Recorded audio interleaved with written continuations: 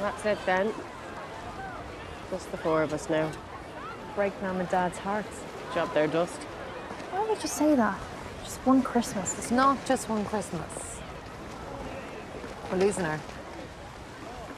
She's not like the girl she was. She's getting quieter and smaller. Can't grow in the shadow of the prick. She was always quiet. That's bollocks. What's bollocks about her? It's just not true, Becca. She wasn't always like that. He's sucking the life out of her. She doesn't stand up to him, though. You say anything to her and she thinks that you're jealous. She doesn't. th- She knows. She knows that's not why worried. Just him getting to her. Well, we'll just have to wait till he dies of cancer or something. Yeah, best part of her life will be over by then. I don't know. He's got gout and that ulcer. Lucky Windy could off the next 10. Happened before then. People get killed every day. What's that mean? I mean, why not give nature a helping hand? All our worries would be over.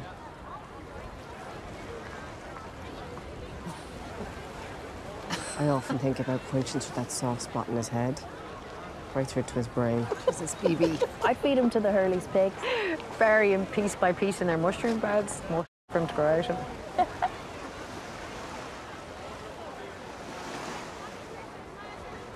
Fine, I tamper with the brakes of his shitty Volvo if I knew what the f- I was doing. Shove him into deep, dark water. Feed him to the sharks. Let the seagulls feed up his eyes. out.